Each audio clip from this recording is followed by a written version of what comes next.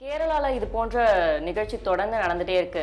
பெண்கள் வந்து சபரிமலைக்கு போகிறது இப்போ இந்த ரெஹானா விவகாரம். இதனால கேரள பெண்கள் வந்து துணிச்சலாக முன் வராங்கன்னு சொல்ல முடியுமா? ரெஹானா வந்து ஒரு விளம்பரத்துக்காக அவங்க பண்ணியிருக்காங்க. தன்னுடைய குழந்தைகளுடைய மனப்பா மனப்பக்குவத்தை புரிஞ்சுக்காம அவங்க பண்ணியிருக்காங்க. நாளைக்கு அந்த குழந்தை வளர்ந்த பிறகு அது அதனுடைய சைக்காலஜி என்ன அவங்கிறத அவங்க பார்க்கணும். இன்னும் உடம்பு திறந்து போட்டால் அத்தனை பேரும் பார்க்கத்தான் செய்வோம் அது எந்த சந்தேகமும் கிடையாது. அதனால் இதை வந்து தன் குழந்தை கொஞ்சுவதை வந்து ஒரு விளம்பரப்படுத்தி அதில் வந்து ஒரு விளம்பரத்தை தேடினாங்கங்கிறதுல ஒரு வக்கரம் இருக்கிறதா என் மனசில் படுது மனித இனத்தில் தான் பெண் கவர்ச்சி. இந்த கவர்ச்சி போயிடுச்சுன்னா பெண் எல்லாமே திறந்து போட்டுக்கிட்டு நின்னான்னா ஆணு திறந்து போட்டுக்கிட்டு நின்னான்னா அந்த கவர்ச்சி அந்த ஈர்ப்பு போச்சுன்னா சிருஷ்டி இருக்காது. மனித இனம் இணைஞ்சிரும் எக்ஸிபிஷன் தன்னுடைய உடம்பை காட்டுறதுல அந்த பெண்ணுக்கு இருந்த ஆர்வம். அதுக்காக காட்டுது. என்னை எல்லாரும் பாருங்க அதில் ஒரு வக்கரம் இருக்கிறதா நான் பார்க்குறேன். அது அந்த பெண்ணுக்கு நியாயமா இருக்கலாம். அதை எத்தனை பேர் எத்தனை வகையான பார்வையில் பார்த்தாங்க? நாளைக்கு அந்த குழந்தை வளர்ந்ததுன்னா எங்கள் அம்மா இப்படி போஸ்ட் கொடுத்தாலே அந்த அது ஒரு ஆண் குழந்தையாக அதுக்கு ஃபீலிங் வராது. எப்படி நினைக்கும்? சபரிமலை விஷயத்தில் நான் வந்து மாறுபடுறேன். நான் சபரிமலைக்கு போனவன் பருவம் நின்ன பிறகு மெனப்பாஸ் ஆனதுக்கு பிறகு அந்த கிழவிகள் வரலாம். மலையை ஏறும்போது தீட்டப்படுறதுக்கான வாய்ப்புகள் இருக்காது. அப்படி வந்ததுன்னா அந்த ரத்த வாடப்பட்டுச்சுன்னா அது கொண்டு விடும். பாதுகாப்பு கருதி தான் நிறுத்தினாங்களே ஒழிய இதெல்லாம் இந்த பக்தி அடிப்படையிலையோ சா இது இந்த அடிப்படையில் நிறுத்தலாம் பாதுகாப்பு கருதி. அதை வந்து புரிஞ்சிக்காம வந்து இல்லாத அட்டகாசம் பண்ணிக்கிட்டு எல்லாம் பண்ணாங்க. வணக்கம். ரெஹானா ஃபாத்திமா. அவங்க கேரளாவை சேர்ந்தவங்க. கேரளாவில் இந்த சம்பவம் நடக்குது. அவங்களோட குழந்தை அவங்க நிர்வாணமாக இருக்கும்போது அவங்க மீது ஓவியம் வரையுது. இந்த வீடியோ சமூக வலைதளங்களில் வைரலாக பகிரப்பட்டு வருது. இதனால் அவங்க மீது வழக்கு போடப்படுது. அந்த வழக்கு தீர்ப்பு நேற்று வெளியாயிருக்கு. என்ன சொல்லப்படுதுன்னா ஒரு குழந்தை தனது சொந்த தாயின் மீது அவங்க நிர்வாணமா இருக்கும்போது அதோட கலைவண்ணத்தை காட்டுது. இதுல எந்த தவறும் இல்லை. இதுல ஆபாசம் ஏதும் இல்லை அப்படின்னு சொல்லி தீர்ப்பளிக்கப்படுது. இதனால அவங்க விடுவிக்கப்படுறாங்க. அதை பத்தி பேசுறதுக்காக நம்மோடு இணைந்திருப்பவர் திராவிட இயக்க சிந்தனையாளர் காந்தராஜ் அவர்கள். ஐயா வணக்கம். இந்த கருத்தை பத்தி நீங்க என்ன நினைக்கிறீங்க? என்ன என்ன நினைக்கிறது? இது ஒரு குழந்தை வந்து அவங்க அம்மா மேலே புரண்டுக்கிட்டு இருந்திருக்குது. அது படமாக எடுத்திருக்காங்க. அதை ஏன் வெளியிட்டாங்கங்கிறது தான் கேள்வி இதில். அந்த குழந்தை வந்து அம்மா மேலே விளையாடினது எதுவுமே தப்பு கிடையாது. அம்மா நிர்வாணமாக இருக்கும்போது தான் குழந்தைய பிறக்குது. டெலிவரி நிர்வாணத்தில் தான் பிறக்குது. அப்படி இருக்கும்போது அதில் வந்து குழந்தை இது பண்ண அதை வந்து படமாக எடுத்து வெளி வெளியிட வேண்டிய கட்டாயம் அதை ஏன் அந்த பெண் அனுமதிச்சாங்க? அதுதான் கேள்வி. அதில் வந்து தப்பு இருக்குதாங்கிறது தான் கேள்வி. அது நம்ம அந்த ரெஹனாவுடைய மனப்பான்மையை நம்ம அதில் பார்க்கணும். எக்ஸிபிஷனிசம்னு சொல்லுவோம் அதை. தன் உடம்பை காட்டி தன்னை ஒரு தான் எவ்வளோ அழகாக இருக்கிறோங்கிறத காட்டுறது எக்ஸிபிஷனிசம் நார்சிசம் தன்னைத்தானே ரசிச்சுக்கிட்டு தன் உடம்பை காட்டுறது. இது வந்து நார்சிசம் இதெல்லாம் வந்து ஒரு மன கோளாறுகளில் வரக்கூடிய ஒரு விஷயம். இந்த எக்ஸிபிஷனிசம்ங்கிறது வந்து சினிமா துறையில் இருக்கவங்களும் இவங்க மாதிரி மீடியாக்களில் இருக்கவங்களுக்கு வந்து எக்ஸிபிஷனிசம் இஸ் அ மஸ்ட் அது எக்ஸிபிஷனிசம் இஸ் பேசிக்கே வந்து சினிமாவிலையும் இதுலேயும் மீடியாவிலையும் எக்ஸிபிஷனிசம் தான் அடிப்படை. அவங்களுக்கு அது தேவை. ஆனால் ஒரு பெண் ஒரு தாய் என்னத்துக்கு ஒரு தன் குழந்தைய தன் உடம்பு மீது விளையாடுறத வந்து ஃபோட்டோவாக எடுக்கிறது தப்பில்லை. அது என்னத்துக்கு பப்ளிசிட்டி ஏன் கொடுத்தாங்க? அதில் என்ன லட்சியம் என்னத்தை நிறைவேற்றத்துக்காக கொடுத்தாங்க? அந்த கேள்விக்கு தான் பதில் வரல. அதுக்கு தான் வழக்கு போட்டிருக்காங்க. அதை வந்து நல்ல கண்ணோட பார்க்குறவங்க இருக்கலாம் கெட்ட கண்ணோட பார்க்குறவங்க இருக்கலாம். அதுக்கு மனப்பக்குவம் அது இப்போ நீங்கள் ஒரு பெண்ணாக இருந்துட்டு கேட்குறீங்க உங்கள் பார்வையில் அது என்னவாக இருந்தது எனக்கு என்ன தெரியும்? என் பார்வையில் என்னென்னமோ இருக்குது. என் வயசுக்கு ஏதோ ஏதோ விகார மன விகாரமான விஷயங்கள்லாம் வருது. இதை வச்சுக்கிட்டு என்னுடைய கேரக்டரை பற்றி நீங்கள் முடிவு எடுக்கலாம். என்னமோ இவன் ரொம்ப யோக்கியம் மாதிரி. பொண்ணு உடம்பு திறந்து போட்டால் அத்தனை பேரும் பார்க்கத்தான் செய்வோம் அது எந்த சந்தேகமும் கிடையாது. அதனால் இதை வந்து தன் குழந்தை கொஞ்சுவதை வந்து ஒரு வி- விளம்பரப்படுத்தி அதில் வந்து ஒரு விளம்பரத்தை தேடினாங்கங்கிறதுல ஒரு வக்கரம் இருக்கிறதா என் மனசில் படுது. ஒரு ஆண் வந்து அவனோட குழந்தை அவன் உடம்பு மீது வரையும் ஓவியத்தை வந்து இதே மாதிரி சமூக வலைதளத்தில் பதிவிட்டான் அது வந்து வைரல் ஆகுதோ என்ன ஆகுதோ இதை ஒரு கருத்தாவே கொண்டு வர மாட்டாங்க. ஆனால் ஒரு பெண் பதிவிட்டிருக்கிறதால தான் இது இவ்வளோ பெரிய விஷயமா கொண்டு வரப்பட்டிருக்கு. அவங்க என்ன சொல்ல வராங்கன்னு எனக்கு தெரிஞ்சுன்னா ஆண் வெளியிட்டா அது தப்பு இல்லை அதே பெண் வெளியிட்டா ஏன் அதை வந்து ஆபாசமா பாக்குறாங்க அப்படின்னு அவங்க ஒரு கேள்வியை முன்வைக்கிறாங்கன்னு நான் சொல்றேன். அந்த ஆபாசமான அப்படிங்கிற வார்த்தை ஏன் வருது அங்கே? அது- வந்து ஏன்னா ஆண் வந்து பண்ணா அது ஏன் ஆபாசமா பார்க்க மாட்டீங்க? அவங்களுக்கு இருக்கிற மாதிரி தான் உடம்பும் எனக்கு இருக்கு. அவங்களுக்கு இருக்கிற மாதிரி தான். ஜஸ்ட் ஒரு பார்ட்ஸ் மட்டும் தானே வேறையா இருக்கு. அதை ஏன் இப்படி பண்றாங்க? ஒரு ஒரு படத்தில் கமலஹாசன் கதாநாயகி கூட உட்காந்துட்டு காரில் ஏதோ ரெண்டு பேத்துக்கு வாக்குவாதம் வரும். எனக்கு வேர்த்துச்சுன்னா சட்டையும் பண்ணி நீ கழட்டிடுவான் பாரு. ஐயோ அப்படிம்பா அந்த கதாநாயகி. அவமானம். உடம்ப திறந்து போட்டுட்டு வாங்க வந்தீங்கன்னா என்ன இருக்குது? ஒரு படம் ஒன்று வந்ததுமா how tasty my little French mayonnaise அப்படின்னு சொல்லி பட விழாவில் போட்டாங்க. அந்த படத்தில் என்ன ஆகும்னா ஒரு கப்பலில் போகிறாங்க ஃப்ரெஞ்சு ஃப்ரான்ஸை சேர்ந்த கப்பல் போகுது. கப்பல் கவுந்துடுது. ஒரு தீவில் போய் அந்த பத்து பேரும் தப்பிச்சு போகிறாங்க அந்த தீவில் இருக்கிற அத்தனை பேருமே நிர்வாணமாக இருக்காங்க. உடை அணியறதில்ல அந்த படத்தை வந்து உலக பட விழாவில் போடுறாங்க. ஒரு ஸ்பெஷல் ஷோ அதில் வந்து யாருனாக்கா நம்முடைய அதிகார வர்க்கம் பூரா அந்த படத்தை தனியாக போட வச்சு பார்த்துச்சு. நான் எதிர்பாராத விதமாக எனக்கு அந்த படத்தை பார்க்கறதுக்கு சான்ஸ் கிடச்சிது. அந்த படத்தை போ அந்த கப்பல் கவுந்தது போன உடனே அந்த மக்கள் அத்தனை பேர் நிர்வாணம் வரும்போது ஒரே எக்ஸைட்மெண்ட் அத்தனையும் நிர்வாணம் அத்தனையும் நிர்வாணம். ஒரு பதினஞ்சு நிமிஷம் கழித்து அந்த நிர்வாணமே போயிடுச்சு. கதையோடு போயிட்டோம். கதையோடு போய் கடைசியில் என்ன ஆகுதுன்னா அவங்கள கொ- அந்த ஃப்ரெஞ்சு செயலர்ஸை வந்து கொலை பண்ணுற தீ கொண்டுடுங்கிறாங்க மரண தண்டனை வீச்சிடுறாங்க அவன் காதலின்னு நினச்சிக்கிட்டு இருக்க வந்து என்ன சொல்கிறான்னா உன் உடம்புலயே எனக்கு பிடிச்சது வந்து உன்னுடைய லிப்பு. அதை எனக்கு வெட்டி கொடுங்க.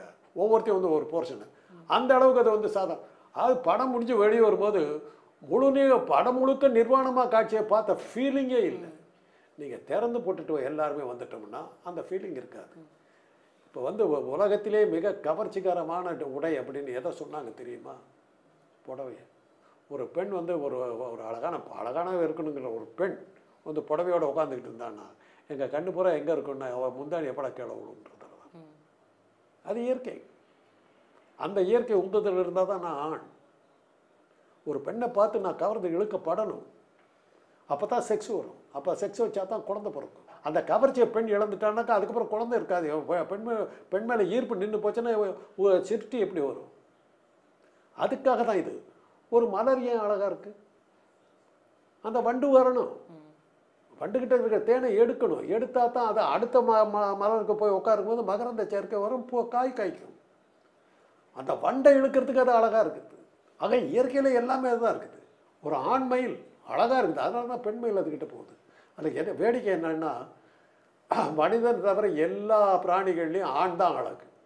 ஆண் யானை அழகு தந்தத்தோடு இருக்கும். ஆண் மான் அழகு கொம்போடு இருக்கும். ஆண் மயில் அழகு ஆண் சிங்கம் அழகு. பெண்கள் வந்து சாதாரணமாக இருக்கும். ஆண் தான் க- கவர்ச்சி. மனித இனத்தில் தான் பெண் கவர்ச்சி. இந்த கவர்ச்சி போயிடுச்சுன்னா பெண் எல்லாமே திறந்து போட்டுக்கிட்டு நின்னான்னா ஆண் திறந்து போட்டுக்கிட்டு நின்னான்னா அந்த கவர்ச்சி அந்த ஈர்ப்பு போச்சுன்னா சிருஷ்டி இருக்காது. மனித இனம் இணைஞ்சிரும் அதுக்குத்தான் கிரி கிறிஸ்தவ மதத்தில் என்ன சொல்கிறோம் ஆடம் அண்ட் ஈவ் நிர்வாணமாக தான் வர்றாங்க. பிறக்கிறாங்க. நிர்வாணமாக தான் கடவுள் படைக்கிறார். ஈடன் கார்டனில் அந்த ஆப்பிளை சாப்பிடாதேங்கிறார். கடவுள் வந்து இந்த எந்த காரணத்துக்கு வந்து ஆப்பிளை சாப்பிடாதேங்கிறார். சாத்தான் வந்து ஒரு இது பண்ணுறோம் அந்த ஆப்பிளை எனக்கு பறித்து கொடு அப்படிங்கிறார். பறித்து கொடுத்து ரெண்டு பேரும் சாப்பிட்றாங்க. சாப்பிட்ட உடனே ஒரு ஷாக் நம்ம ரெண்டு பேருமே அசிங்கமாக இருக்கிறோம் உடனே இலையை வச்சு மறைக்கிறாங்க அன்றைக்கி தான் செக்ஸ் ஆரம்பிக்குது. அது வரலாம் உங்களுக்கு செக்ஸ் இல்லை. அது வரலாம் ஆக வந்து ஒரு உடைங்கிறது மனித நாகரிகம் வளர வளர அவன் வந்து முதல்ல வந்து ஒரு நிர்வாணமாக இருந்தான். அதுக்கப்புறம் வந்து ஒரு இடுப்பில் மாத்திரம் துணியை கட்டினான். அப்புறம் வந்து மேலே துணியை போட்டான். அப்புறம் வந்து வித விதமாக போனான். ஒரு காலத்தில் பெண்கள் வந்து உடம்ப முழுக்க கவர் பண்ணிட்டு இருந்தாங்க. விக்டோரியா காலத்தில் வந்து கழுத்துலேருந்து கால் வரும் பெரிய பெரிய கவுன் போட்டுட்டு இருந்தாங்க. அப்போ வந்து ஆண் வந்து வெறும் டைட்டு இதை போட்டுட்டு இருந்தான். இன்றைக்கி என்ன போச்சு? ரிவர்ஸ் ஆம்பளை முழு உடம்பு நிற்கிறான் பெண் வந்து திறந்து போட்டு நிற்கிறான் காலம் மாறி போச்சு பெண்ணுக்கு இருக்கிற அந்த கவர்ச்சி போயிடுச்சுன்னா அந்த ஈர்ப்பு போயிடுச்சுன்னா சிருஷ்டி இருக்காது. அதனால தான் அவர் தன்னுடைய தாய்கிட்ட விளையாடுறது போ ஒரு ஏன் ஒரு ட்ரெஸ்ஸோட ஏன் விளையாடி இருக்கக்கூடாது? எக்ஸிபிஷன் தன்னுடைய உடம்பை காட்டுறதுல அந்த பெண்ணுக்கு இருந்த ஆர்வம். அதுக்காக காட்டுது. என்னை எல்லாரும் பாருங்கங்குது அதில் ஒரு வக்கரம் இருக்கிறதா நான் பார்க்குறேன். அது அந்த பெண்ணுக்கு நியாயமாக இருக்கலாம். அதை எத்தனை பேர் எத்தனை வகையான பார்வையில் பார்த்தாங்க? நாளைக்கு அந்த குழந்தை வளர்ந்ததுன்னா எங்கள் அம்மா இப்படி போஸ்ட் கொடுத்தாலே அந்த அது ஒரு ஆண் குழந்தையா இருந்தா அதுக்கு ஃபீலிங் வராது. எப்படி நினைக்கும்? உங்கள் அம்மா ஃபோட்டோ வாடான்னு கிளாஸில் படிக்கிற பசங்க வந்து காட்டினாங்கன்னா அந்த அந்த குழந்தைக்கு எப்படி இருக்கும்? யோசிச்சு பார்த்துச்சா? ஒரு சின்ன ஸ்டண்ட்டுக்காக சின்ன விளம்பரத்துக்காக ஒரு சின்ன சென்சேஷனுக்காக இப்படி ஒரு காட்சியை கொடுத்துருக்கு. ஒருவேளை நாளைக்கு காலம் மாறலாம்ல பெண்களும் உடை அணிவது. உடையே தேவையில்லாம் அதுதான் உடைய தேவையில்லாம் போகலாம் அவங்க அதாவது லோகான் லோகான்ஸ் ஒரு படம் வந்து வந்தது ஆயிரத்தி தொள்ளாயிரத்தி எண்பதில்.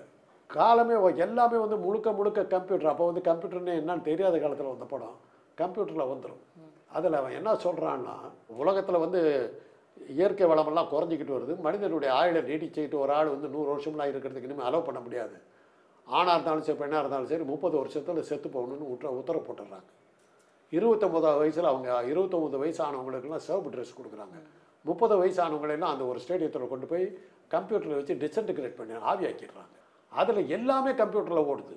இவனுக்கு செக்ஸ் ஃபீலிங் வருது. செக்ஸ் ஃபீலிங் வந்த உடனே அந்த கம்ப்யூட்டர் மைண்டை ரீட் பண்ணுது. இன்றைக்கி சாட் ஜிபிடி அந்த ஆப் வந்துருச்சு. அதில் இதெல்லாம் இன்றைக்கி இன்னைக்கு அதெல்லாம் கொண்டுட்டாங்க அது கேட்குது சரி உனக்கு பொண்ணு எப்படி வேணும்? கண் எப்படி இருக்கணும்? இந்த கண் ஒரு ஆறு வகையான கண்ணை காட்டுது. இந்த கண்ணு. மூக்கு எப்படி இருக்குது? இந்த மூக்கு இந்த காது இப்படி. ஒவ்வொன்றா ஒவ்வொரு அவயமெல்லாம் காட்டி எல்லாத்தையும் ஒன்றா சேர்த்து இதுவா நீ நினச்சது. ஆமாம் ஹேலோகிராம் அந்த பொண்ணு அப்படியே உருவமாக வர்றான் செக்ஸ் வச்சுக்கிறான் சாட்டிஸ்ஃபைடா எஸ் அது ஒரு மறைஞ்சிருது. இதுதான் எதிர்காலம். இதுதான் எதிர்காலம். அன்னைக்கு நீங்கள் பார்த்துங்க அன்னைக்கு நீங்கள் எப்படி வேணாலும் இருங்க. இன்றைக்கி இருக்கிற சூழ்நிலையில் இப்போ இருக்கிற சூழ்நிலையில் நாளைக்கு அந்த பையனோ அந்த குழந்தை ஆணாக இருந்தால் எங்கள் அம்மா இப்படி போஸ்ட் கொடுத்துருக்காளே அப்படின்னு ஒவ்வொரு பையனும் வந்து கேட்கும்போது என்ன என்னுடைய காலேஜில் படிக்கும்போது மெடிக்கல் காலேஜில் படிக்கும்போது ஒரு நடிகருடைய மகன் எங்களோட படித்தார் அவர் பட்ட அவஸ்தை எங்களுக்கு தான் தெரியும். இஷ்டத்துக்கு பேசுவாங்க. அவர் காது பேசுவாங்க இப்ப தலை குனிஞ்சிட்டு தான் போவார். அவர் பட்ட அவஸ்தை எங்களுக்கு தெரியும். அதே மாதிரி ஒரு நடிகருடைய தம்பி இஷ்டத்துக்கு பேசுவாங்க. இதெல்லாம் அந்த காலத்தில் கொடுத்த விலைகள். இன்றைக்கி அது வேற விஷயம். இன்னொன்று என்னன்னா ஒரு கல்யாண வீட்டில் கல்யாண மண்டபத்தில் பக்கத்தில் ஷூட்டிங் நடக்குது.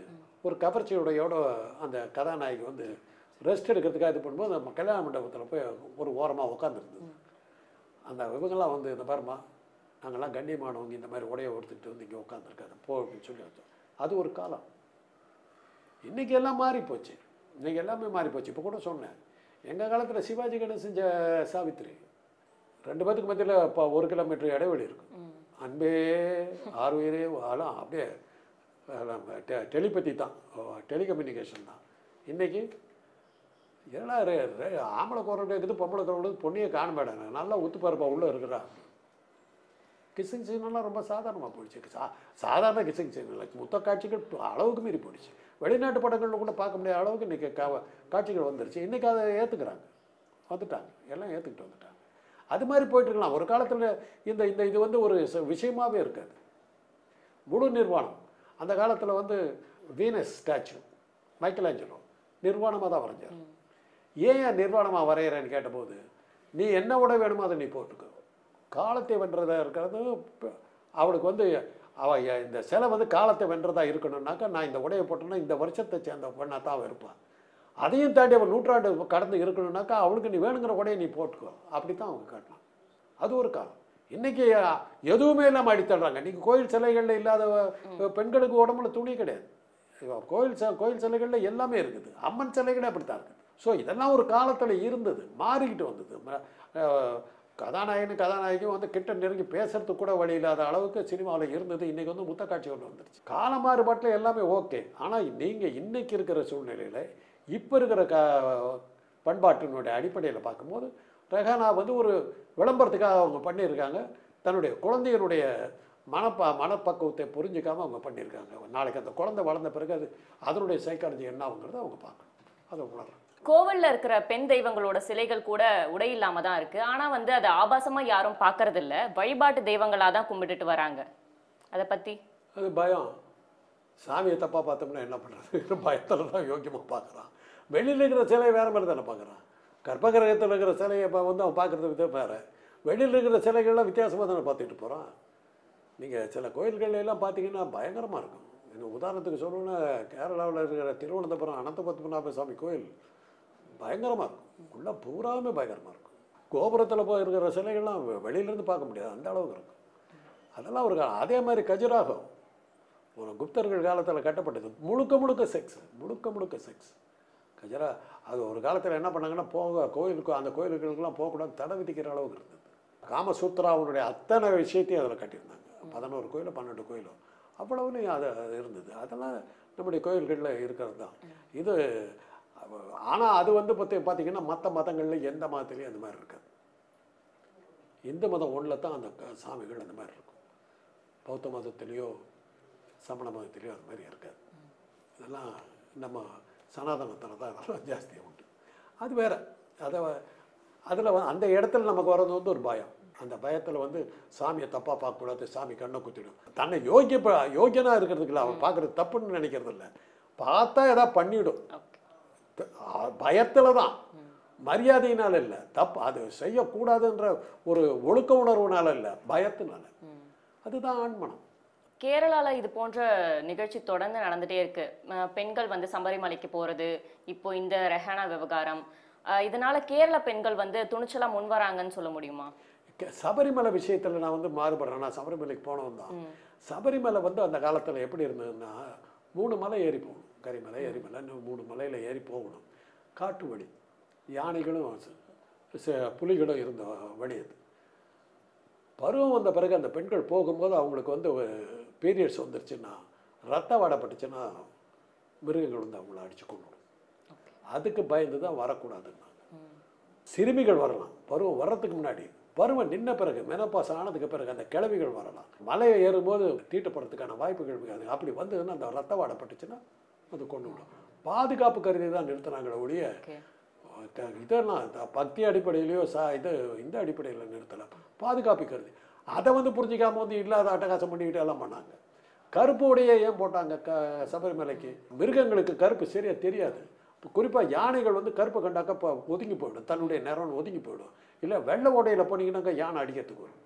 அதனால தான் கருப்பு உடை அணிய சொன்னாங்க. அந்த தலையில் இருமுடி ஏன் கட்டினாங்கன்னாக்கா அந்த மலையில் ஏறி போகும்போது சாப்பாடு கிடைக்கல இந்த இருமுடியில் இருந்து சாப்பிடு. இவ்வளோ பாதுகாப்பு கொடுத்துருப்பாங்க இன்றைக்கி இன்றைக்கி வந்து டிரைவன் அப்படியே சபரிமலை அப்படியே நேராக போய் அப்படியே ஹாய் ஐயப்பா அப்படின்னு காட்டிட்டு போகிற அளவுக்கு ஆகிப்போச்சு இன்னைக்கு அது கதை வேற. அன்றைக்கி நாங்கள் போகும்போது இதெல்லாம் பா பண்ணிட்டு போனோம். இதெல்லாம் பார்த்துக்கிட்டு போனோம். விரதம் இருந்தோம். செருப்பு ஏன்னா மலை ஏறும்போது கல் முள் எல்லாம் ஏறும். அதை வெறுங்காலில் நடந்து பழகணும். பச்சை தண்ணியில் குளிச்சோம் ஏன்னா கடுமையான குளிர் அடிக்கும். படுக்கிறதுக்கு இடம் இருக்காது. ஆனால் அதெல்லாம் எப்ப இதை உடம்பை பயன்படுத்திக்கணுங்கிறதுக்காக நாற்பது நாள் விரதமே அதுதான் எங்களுக்கு கொடுத்தாங்க. அது அது எனக்கு வந்து நீ வந்து பகுத்தறிவு பேசுகிற பையன் உன்னாலாம் முடியாதுடா அப்படின்னாங்க. சிகரெட் குடிக்கக்கூடாது நான்வெஜ் சாப்பிடக்கூடாது செக்ஸ் வச்சக்கூடாது தரையில் படுக்கணும். இதெல்லாம் உன்னால் முடியாதுறானாங்க. முடியுண்டாங்க. போய் காற்றா பார்க்கலானாங்க. போகிறேன் அப்படின்னு சொல்லி இருந்தேன். இன்னும் சொல்லப்போனால் அந்த கூட்டத்தில் நாங்கள் முப்பது பேர் போனோம். நான் ஒருத்தன் தான் ஒழுங்காக போனோம். என் குருசாமி சிகரெட் குடிச்சிக்கிட்டே வந்தான். அந்த கூட்டத்திலேயே ஒழுங்காக போனவங்க மூணு பேர் தான் போனோம். அவ்வளோ இது. அதான் சொன்னாங்க நாத்திகன் பேசுகிறேன் இவ்வளோ டேய் ஒரு என்னால் முடியாதுன்னு சொன்னேன். நான் நிறைவேற்றி காட்டுறேன்டா அப்படின்னு. அந்த உறுதி எனக்கே என்ன ஆ- ஆத்ம பரிசோதனை பண்ணிக்கிறேன். என்னால் முடியுதான்னு பார்க்குறதுக்கு. இதெல்லாம் எதுக்காக இந்த சபரிமலைக்கு போக சொன்னோன்னே இதுதான் காரணம். பெண்கள் பாதுகாப்புக்காக தான் சொன்னது அது. மத அந்த பக்தர்களுடைய பாதுகாப்புக்காக சொன்னது தான் அது. மற்றபடி அதில் வந்து மத அடிப்படை மத கோட்பாடு அதில் கிடையாது. அவ்வளோதான் அது. அதை வந்து அதெல்லாம் புரிஞ்சிக்காமல் நாங்களும் போ நீங்களும் போ இன்றைக்கி யாரை வேணாலும் அவ்வளோ பண்ணலாம். ஏன்னா அந்த வா- எல்லாத்துக்கும் ரோடு போட்டாங்க டிரைவிங் அப்படியே காரில் போய் கும்பிட்டு ஹாய் அப்படின்ட்டு போகலாம். அந்த அளவுக்கு வந்துருச்சு. இன்றைக்கி அது தேவையில்லை. அந்த வழியெல்லாம் முடிஞ்சு அந்த யானைகளும் காணும் அந்த புலிகளையும் காணும். முடிஞ்சு போச்சு. தொடர்ந்து திரைப்படங்கள்ல பெண்கள்ல ஆபாசமா சித்தரிக்கிறது. ஆண்களுக்கு பெண்களுக்கு பின்னாடி ஆண் கூட்டம் எப்பவுமே ஒண்ணு இருக்கிறது. அந்த மாதிரி காட்சிகள்லாம் இப்போ இருக்கிற சமூகத்தினரையும் அதே மாதிரி பண்ண தூண்டுதுல? அதை பத்தி. இப்போ நீங்கள் டிவியில் வர்ற சீரியலை என்ன பண்ணிட்டு இருக்கீங்க? ஒரு சீரியலாவது எல்லா சீரியலையும் நான் பார்க்குறது ஒருத்தனுக்கு கல்யாணம் இருக்கும் அவனுக்கு பொண்டாட்டி இருப்பான் ஐயோ அந்த பொண்டாட்டி தள்ளிட்டு எப்படி பிடிக்கிறது? அதானே கதை. வேற என்ன கதை இருக்குது ஒரே கதை தான். வெவ்வேறு பேரில் எடுத்துக்கிட்டு இருக்காங்க ஒருத்தருக்கு கல்யாணம் ஆகிருக்கும் அவனை அவங்க அந்த பொண்டாட்டியை தோர்த்திட்டு நான் எப்படி உள்ளே போகிறதுங்கிறது தான் கதை. அவளை எப்படி பிடிக்கிறதுங்கிறது இன்னொரு இல்லை வந்து இதே தான் கதை. எல்லா சீரியலும் ஒரே கதை தான். அதை எப்படி நீங்கள் ஆதரிக்கிறீங்க? அதில் ஒரு மாமியார் கறி ஒருத்தி வருவாள் ஓ, பண்ணாத சண்டாளத்தனமே இருக்காது. எப்படி பார்க்குறீங்க எந்த சென்சாருமே இல்லை. அடிக்கிறா உதைக்கிறா எல்லாம் பண்ணுறா அந்த புருஷனோட இருக்கக்கூடாதுன்னு வந்து அந்த புருஷனை தள்ளி விடுறதுக்கு என்னென்ன உண்டோ அந்த பெண்ணை கொ கொடுமைப்படுத்திக்கார். இதெல்லாம் வந்து ஒரு காலத்தில் வந்து சென்சாரில் வந்து தடை செய்யப்பட்ட காட்சிகள். இன்றைக்கி டிவியில் ஓடுது. பார்த்துக்கிட்டு தானே இருக்கீங்க? பார்த்துக்கிட்டு தானே இருக்கீங்க. எல்லா சீரியல்லையும் தானே கதை? ஏழு ஏழு மணிக்கு வீட்டுக்குள்ளார வந்தோன்னா அடுத்த சீரியல் ஆரம்பிச்சது எனக்கு தெரிய மாட்டேங்குது. இதுனா இந்த பொண்ணு வேறையாக இருந்தது அந்த சீரியல் முடிஞ்சிருச்சு. சீன்ஸ் அதே தான். எட்டரை மணிலேருந்து பத்து மணி வரலும் ஒரு மூணு சீரியல் ஓடுது. நான் பார்க்குறேன் உட்காந்துட்டு பார்க்குறேன். மூணுலேயும் ஒரு ஆம்பளை இல்லை நான் வரேன் ஒரே கதை. ஒரே கதை. திரும்பி வேலை என் முன்னாடி ஒவ்வொரு சீரியலையும் சீரியஸாக பார்க்குறேன் புதுசாக பார்க்குற மாதிரி. இதெல்லாம் வந்து காலப்போக்கில் இது வந்து சீரியல் இன்னைக்கு உள்ள வந்துருச்சு. இதே சினிமாவில் எடுத்தீங்கன்னா ஸ்க்ரீனை கிழிச்சிருவாங்க. சினிமாவிலலாம் அதை காட்ட முடியாது. அதனால் இன்றைக்கி கால மாறுபாட்டில் எல்லாமே மாறிட்டு வருது. கதைகள் இல்லை. கதைகளே இல்லை. சம்பவங்கள் இல்லை. எல்லாமே நான் இயற்கை அப்படின்னு ஆகிப்போச்சு இப்போ இந்த விஷயத்தை வந்து ஒரு பெண் வந்து என்ன கேட்குறீங்க அந்த காலத்தில் இது முடியுமா? ஒரு காலத்தில் வந்து ஒரு சோபனா ரவின்னு எங்கள் காலத்தில் நியூஸ் ரீடர் இருந்தாங்க. அவங்கள பார்க்கறதுக்காக ஒரு கூட்டம் உட்காந்து அவங்க என்ன செய்தி வாசிச்சாங்கன்னு பார்க்கறதுக்கு இல்லை அவங்கள பார்க்கறதுக்கு இருந்தேன் சோபனா ரவி இன்னைக்கு என்ன புடவை கட்டியிருந்தாங்க என்ன காதில் என்ன லோல இது கம்மல் என்ன போட்டிருந்தாங்க? இதுக்கு இது உட்கா லேடிஸு நாங்கள் இன்றைக்கி இது என்ன மாதிரி அழகாக இருக்குது. அப்படி பார்த்தோம். சரி நியூஸ் பார்க்கல. கவர்ச்சி. எல்லா இடத்துலையுமே கவர்ச்சி நூற்றி முப்பது கோடி ஜனங்கள் இருக்காங்கம்மா இந்த நாட்டில். எப்படி வந்தது? உலகத்தினுடைய நம்பர் ஒன் ஜனத்தொகையில் எப்படி வந்தது? இருபத்தி நாலு மணி நேரமும் செக்ஸை பற்றியே நினச்சிக்கிட்டு இருக்கிற ஒரு இனம்னாக்கா நம்ம இந்திய இனம் தான் வேறு வேலையே இல்லை. நூற்றி முப்பது குழந்தை எப்படி போகிறது இது ஆகாயத்தை வந்து கொட்டி பிடிச்சா? இருபத்தி நாலு மணி நேரமும் செக்ஸ் ஓரியன்ட் பீப்புள் லிவிங் வந்து இந்தியாவில் மாத்திரம்தான். வேறு எங்கேயுமே கிடையாது. சைனாக்காரன் வேறு வழியே போயிட்டான். அவன் பாப்புலேஷன் கட்டுப்படி ஆகிடுச்சு கட்டுக்குள்ளார வந்துருச்சு. போய்கிட்டே இருக்குது. தடுக்கிறதுக்கு ஆளு காணும். இதே வேலை. கேட்டால் சச்சி சிச்சி அசிங்க அசிங்க பிடிச்சோம் இதே பேசுகிறேன் அவர் அது அப்புறம் வேறு என்னாச்சு அந்த அப்புறம் அந்த பொண்ணு என்னாச்சு அப்புறம் பார்ட்டிக்கெல்லாம் போனோம்னா எவனா ஒருத்தன் வந்து ஃபில்த்தி ஜோக் ஒன்று அடிப்பான். அங்கே நாலு பொண்ணு உட்காந்துருப்பான் சீ நாட்டி ஃபெலோ சி சி சி சி வாட் நெக்ஸ்ட்டு அடுத்த ஜோக் இதுதான் பொய். This is called proved P R U D E proved பொய் பேசுகிற கூட்டம். மனசுக்குள்ளார பூரா வைக்கிறோம் பொம்பளை ஆபத்து போட்டு நிற்கணுங்கிறது தான் என் ஆசை. ஆனால் பேசுகிறதுல பார்த்தீங்கன்னா என்ன மாதிரி என்ன இப்படி பண்ணுறாள் ஒரு அசிங்கம். அப்புறம் அப்படியா? ஒரு இதுதான் ஆம்பளை. இதுதான் இந்தியர்கள். இதுதான் தமிழர்கள். இதுதான் வடக்கத்தியா? எல்லாரும் இதுதான். எல்லா ஊர்லேயும் இதுதான். சினிமாவை ஏமா போய் பார்க்குறோம்? என் பொண்டாட்டி நல்லா இருந்தாக்கா நான் அவளெல்லாம் ரசிச்சுக்கிட்டு இருப்பேன். என்னை விட அந்த படத்தில் வர்ற கதாநாயகி நல்லா இருக்கிறா லவ் சீன் வந்த உடனே கதாநாயகன் தள்ளி விட்டு நான் போய்க்கிறேன். அவளோட பாடிட்டு இருந்தது. கதாநாயகி கட்டி பிடிச்சி விளையாடிட்டு சினிமாவில் காட்டினாங்களே. சோட்டிசி பார்த்துக்கிற படத்தில் தான் காட்டுவான். ஹீரோ வந்து சினிமா சீன் வரும். ஹீரோயினை கண்டுபிடிச்சி ஆடிட்டு இருப்பார்? பார்த்துக்கிட்டே இருப்பான். ஹீரோவை தள்ளிவிட்டு இவன் போ- கனவுல போயிடுவான். போய் இவன் ஆடிட்டு இருப்பான். அதுதான் சினிமா சினிமா பா பாப்புலரானது காரணம் அதுதான். என்னுடைய கற்பனைக்கு இருக்கிற கதாநாய வந்து பெண் வந்து அந்த கதாநாயகி தான். அதனால தான் அந்த பெண்கள் ஈடுபடுறாங்க. அந்த கதாநாயகி என்னுடைய கற்பனைக்கு சரியாக வரலன்னா பெரும்பாலானவருடைய கற்பனைக்கு வரலன்னா ஃபெயிலியர் அதுதான் காரணம். அதனால தான் இந்த செக்ஸ் அடிப்படை இருக்கிறத. இது மாதிரி வந்து நம்ம வந்து ஒரு காலத்தில் வந்து அந்த உடைகளை எல்லாம் தூக்கி எறிஞ்சிட்டு எல்லாம் போனோம்னாக்கா அந்த ஈர்ப்பு சக்தி போயிடும். அந்த ஆணுக்கு இருக்கிற அந்த ஈர்ப்பு சக்தி போயிடுச்சுன்னா அந்த செக்ஸ் போய்டும். செக்ஸ் போச்சுன்னா மனித இனம் அழிஞ்சு போகும். அந்த எண்ணெய் இருக்கிறவள்ள தான் அதனால தான் ரெஹனா செய்கிறது வந்து அவருடைய வக்கரித்து போன மனத்தை தான் காட்டுது. அந்த குழந்தையினுடைய எதிர்காலத்தில் அந்த பையன் வளரும்போது அதை பார்க்கும்போது எங்கள் அம்மா இப்படியெல்லாம் இருந்தாலேன்னு அவன் நினைக்கும் போது அவன் எப்படியெல்லாம் வருத்தப்படுவான்? அதை யோசிக்கல அந்த பெண். தன்னன்னு யோசித்தான் சுயநலம். உங்களுடைய அற்புதமான விளக்கங்களை பகிர்ந்துக்கிட்டதுக்கு நன்றி சார். நன்றி வணக்கம்.